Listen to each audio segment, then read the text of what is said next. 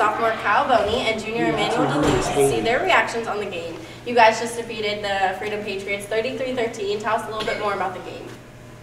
I think the game was a real good game because we fought back. Usually we couldn't finish, the people said that we couldn't finish games in the fourth quarter, and I think we finished it. From the first quarter, we just we, t- we did our thing. We started off on special teams, we ran it almost back. I'm Haley Warner here with some players. I'm here with Wyl Miller, Hassan Sharif, and Kyzir White to see their reactions on today's win. So, what were your guys' expectations coming into today's game? I felt that that we was gonna blow them out, but and I guess we did. So we just had to get the job done.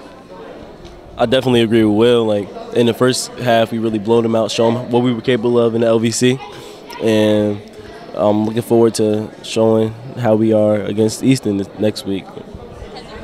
I knew it was going to be a battle, but we kind of blew them out a little bit. But we're ready for Easter now.